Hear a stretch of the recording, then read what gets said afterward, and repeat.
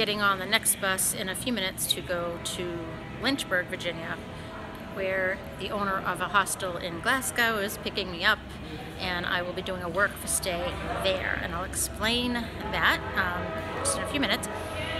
So basically I'll be working a few hours a day helping change the beds, you know, linens and laundry and cooking and answering phones and whatever it is they need um, for four weeks. So a few hours a day for four weeks in exchange for a bed.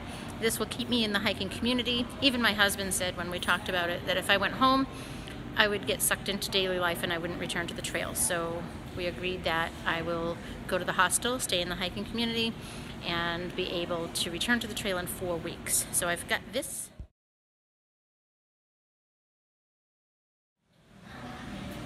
They're treating it as a stress fracture it's weird because they took an x-ray, which they said an x-ray won't necessarily show a stress fracture, but they took one anyway, so go figure that out. Um, and then she didn't want to do an MRI or CAT scan, and I'm not sure why. It's probably something with their policy or funding or whatever, but she consulted with an orth orthopedic orthopedist um, there at the emergency room, who I saw, um, and their exam, the symptoms, the x-ray, everything put together, they said, yeah, it's 99% of stress fracture, so doing an MRI or CAT scan would confirm it, but the treatment would be the same. So they're treating it as the stress fracture, and they put this thing on my foot. They said I can walk, but to limit it as much as possible. Um, so I should probably sit down right now, right?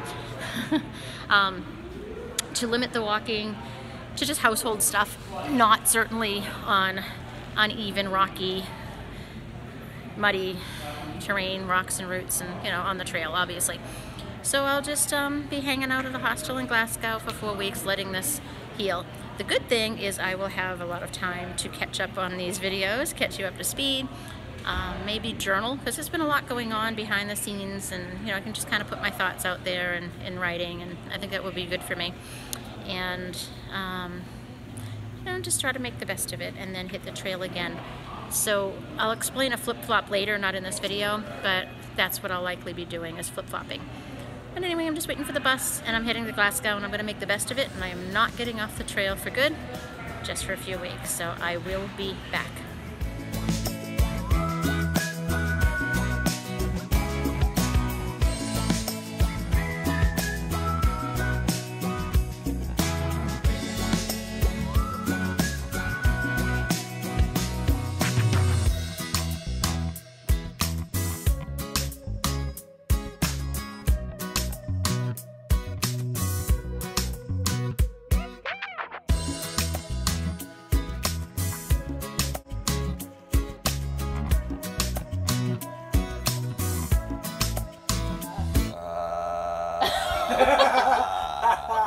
That's cool. Totally enjoying it after Yeah. hiking. All right, tell us the story, Tide Pod, of how All you got your name. So it was actually yesterday that I got my name, and I was on top of Apple Orchard Mountain eating lunch, and there were these group of people behind us, and there was this one guy, Guy. and uh, he was he was talking about millennials, and he was like, "Oh, dumb millennials eating their Tide Pods." And I turned around and I was like, "Millennials aren't the ones eating Tide Pods. That's my generation." And he kind of just turned around and being like, "Your name's Tide Pod now." Tide So, Pod. there we go. But you're not gonna eat Tide Pods. No, no, I'm Promise. not that. I'm not you're that dumb. A little smarter than that, right? Too too smart for that. So who are you hiking with? Um, I'm hiking with my dad, Mary Ellen. Your dad, Mary Ellen. My dad, Mary Ellen. Hey, Daddy. Why is your name Mary Ellen? Um, My name is Mary Ellen. 18 years ago, I did a section hike from Fontana Dam to Pearisburg. And in the ice water spring shelter, as you all know, when hikers come in, they come in and they hang their stuff and they cook and they talk and it's a bunch of jitter gibberish and and then it, they all bed down. It gets real quiet. Well, it got really really quiet, and I just realized it's so quiet, and I just simply said, "Good night, John boy," and somebody yelled, "Good night, Mary Ellen," and everybody laughed. And of course, the next day at breakfast, somebody said, "Where's Mary Ellen?" Oh, that's so I raised my hand, and for those that don't know, that's from the '70s TV show The Waltons. So I'm Mary Ellen. Mary Ellen and Jim Bob. And, uh, let's see. Can you name all the? No, I Uh, can't. Um, Oh, John Boy, Yeah. Mary Ellen, Erin, Jim Bob, Ben. Ben. Yeah, Ben was Elizabeth. uh, Elizabeth is the youngest. Grandpa, Grandma. Oh, yeah. Ben was the musician. He's the guy that played the guitar and the harmonica. You should be Ben because you're the musician. Oh, well, I kind of You're like. Mary Ellen. I kind of like being Mary Ellen. Definitely not a one.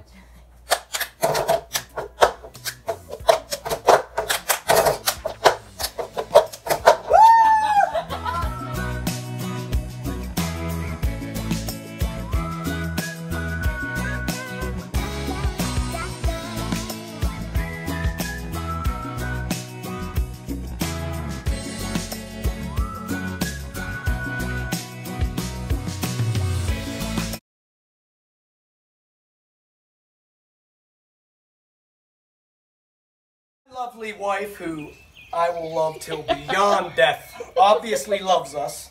We get into Glasgow yesterday and find this box Yeah.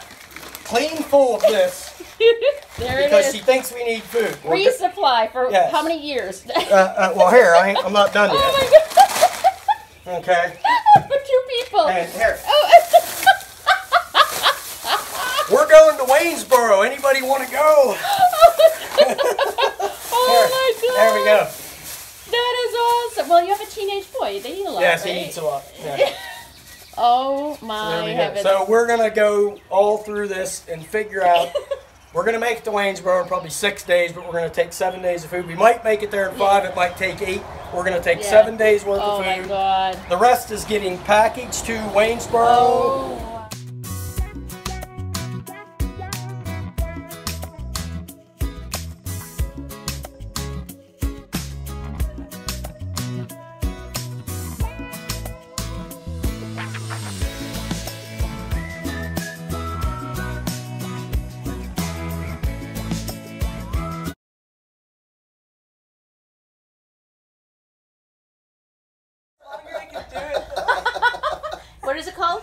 Dying cockroach. The dying cockroach. There we go. so this is how I'm going I'm starting to. to get the cardio going. You are? There we go.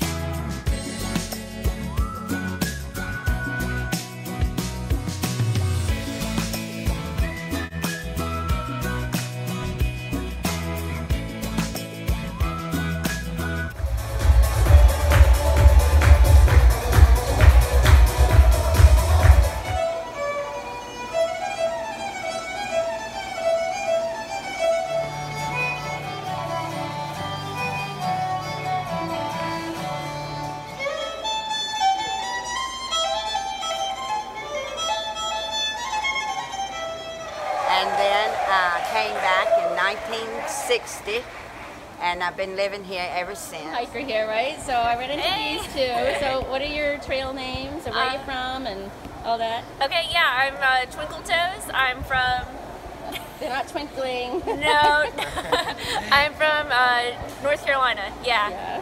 Why are you twinkle toes?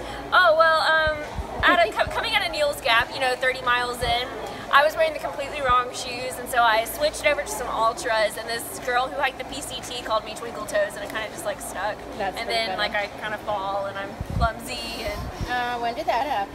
uh, two days ago, yeah, totally face planted. It's fine. Good. Beautiful. Many times. Yeah. What's your name? Hey, I'm Crockett, Davy Crockett, David um, Crockett. from Alright. upstate New York, and, and yeah, now we're at a grass festival. Yeah, it's yeah, fun, Fin- you know? Finland Awesome. Festival. Yeah. yeah.